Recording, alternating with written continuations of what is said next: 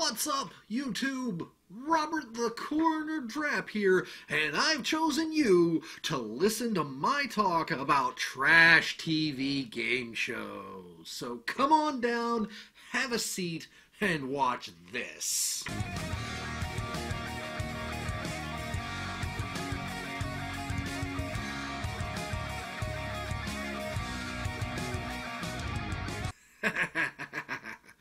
mixing it up a little bit here today, throwing the the intro kind of second, but I actually kind of really love trash TV game shows, and what I mean by that is very much in the same mold of trash TV. Uh, talk shows and regular trash TV, which I will be going over more shows that I enjoy here in the coming weeks. Uh, trash game shows are just shows that have been on forever. You'll catch them on the Game Show Network or you'll catch them on, you know, syndicated television, and they're really not good. They really aren't. And the I think the king again we have to we have to recognize those those game shows that are kind of universally loved are universally watched by so many people that it's not even funny and I'd say there's about three that really stand out, you know, kind of equal in in ratings as far as trash TV. Jeopardy, Wheel of Fortune, and The Price is Right. Those three shows are iconic. You cannot step to those shows. Every show you do, any game show you have in mind, will will inevitably have to worship at the altar of these three shows because they they've done what they've done for so long. They've they've done it in a fashion that's still relevant and and and with the longevity and the history that they have, it's really quite amazing. Especially when you consider shows like uh, Price is Right that have gone on the air for as many years as they have, and the fact that they've actually gone through, I think now two different hosts because now Drew Carey is hosting it. And I did promise that I would include Family Feud on this, uh, and I do. Uh, very much again, Steve Harvey's reactions on Family Feud are what makes you really want to watch Family Feud. Whenever he hears somebody going just bananas with whatever they're saying, it's it's kind of hard to to deny that these these shows are amazing. You know. Um, as far as Wheel of Fortune goes, the it was it's a very very simple concept, and the simple concept is you spin the wheel, and whatever dollar amount it lands on, you get to pick a letter. If that letter's there, you win that much money, however many times it's there. So it, it very much becomes can I figure out what you're thinking? And uh, Jeopardy, Jeopardy being, you know, probably one of the older shows on this on this list, uh, with the exception of maybe Family Feud, uh, edging it out, is is you know amazing in and of its own right because, well, Alex Alex Trebek has never stopped doing it. I mean, he's probably one of the few on this list that has maintained his original position of amazing show host. And I gotta say, it's it's been fun watching Alex Trebek just be intelligent and, and witty on the air. He's not very funny, but it's still, you know, got a sense of educational fun to it in sometimes. Um, let's see what else. Oh, Family Feud. Oh God, Family Feud. You will. I mean, Family Feud has been around for long enough now that they've that they've pretty much honed in on the same formula for almost every show, and there's not a whole lot of things that they can do anymore, and I'm not sure whether or not some some episodes have like repeated questions from way back when to now, but I'm sure it happens. Like they they probably run very very shallow on the ideas of how many questions can we ask.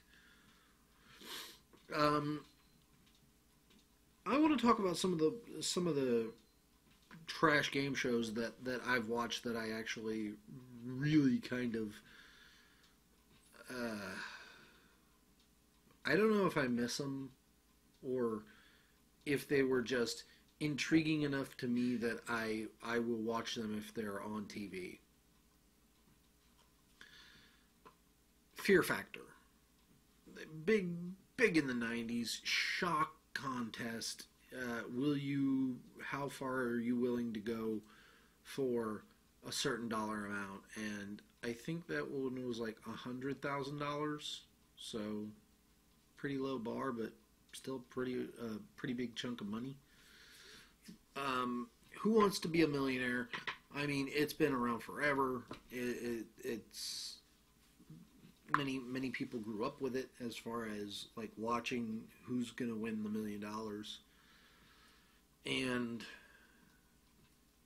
it was actually you know pretty cool um, then there was deal or no deal I, I very much i like howie mandel and i i don't think i want to shake his hand because i i've you know i've heard many many people say he's a germaphobe.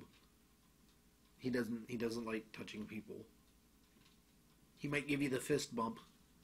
And you know, you gotta you gotta respect everybody's comfort levels. So uh, definitely would either give him the fist bump or, you know, nice to meet you. Um know that I've really uh, I've watched it a number of times. It's because Wayne Brady's on it, and Wayne Brady is hilarious. Does Wayne Brady need to choke a bitch? I, I, I, I, like I said, I love Wayne Brady. Oh, let's make a deal. That's what it was. Big from the old school, and and it it was it, you know, it got eventually canceled, but then again, that's the thing. Some of these shows are not new shows that that have resurfaced. And the reason that I believe that all the all of these shows I've mentioned are trash TV is because it's uh, like Fear Factor. We all knew was trash TV, and Family Feud again, not doing anything new, not doing anything really interesting. Uh, I think maybe. Um, Jeopardy might get away with not being trash TV just because it's educational. They they definitely try and test your knowledge, so maybe. But Wheel of Fortune, guess what I'm thinking, and The Price is Right being, I guess, I would say the flagship of all trash TVs is is uh, The Price is Right because they've done so many things over the years, so many different con, uh, so many times have they done the same things, like uh, hole in one or uh, pachinko, the big wheel, always fun, and the showcase showdown. Uh, but outside of that, they really don't have a lot of different things that they do. So, but you know, it's it's always interesting to go back and look at see, and look and see the things that we we watch now versus some of the things that we maybe used to watch. Are certainly shows on contest shows that are out there now, like American Idol is still inexplicably around. America's Got Talent. Well, is American Idol around anymore? Maybe it is. I don't know. I've never really been a big fan of it, so uh, couldn't tell you. The um, let's see what what's you know you see you'll see clips all the time from like Facebook, and it's it's a it's a good show. Um, I don't know that Dancing with the Stars is, but I definitely know that uh, Mas- uh, like Master Chef that is and uh, there's been a couple others that, that have that have done kind of the the contestant route, but more reality TV. and uh, I think the one that I don't I don't want to be on that show, even as you know, like one of their one of their props, I guess you might call them, but Ink Masters. Ink Masters, I mean, I've got a piece that would require an Ink Master, that would require, this is a masterpiece. This is something that is going to be, you know, something I'm going to cherish forever. It's going to take a lot of money. It's going to take a lot of time. It's going to take a lot of talent to do it. But, um, yeah, I don't, I don't know if I'd ever want to go on Ink Masters and be on there because uh, I can't tattoo for I, I can't I don't know how. I have very little artistic skill. So getting me to do any kind of ink would be impossible. But I have the vision in, in my head of what I want this to look like. And I feel like if I gave it to the right artist, they'd just, nope, I'm on it. I got you. Don't worry. Is that what you were looking for? Yes. That on me now. Do it. and and that's that's what I feel will happen.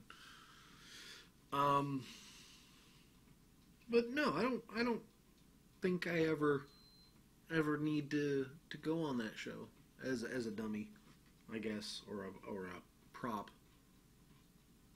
But the game show network really has given us a lot of of not great, not great, uh, different shows, and they they constantly play like Family Feud and let's make a deal. So I imagine that keeping those two kind of up front and up center is kind of one of those things that a lot of people will watch.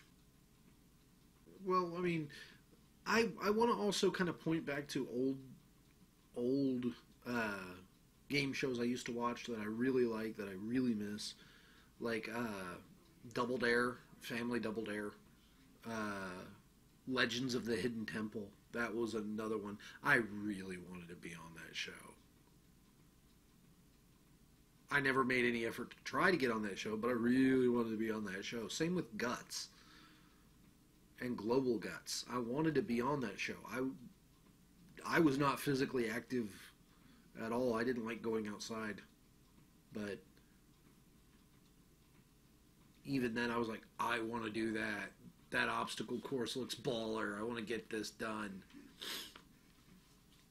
But yeah, I mean, you kind of look at these shows and, and you realize that they didn't really have a lot to them. They didn't really give you anything great, but they gave you something, which was uh, entertainment. I hope I've been entertaining. Thank you for watching. Please like, comment, subscribe, do all those wonderful things just down here. And I will see you all next time.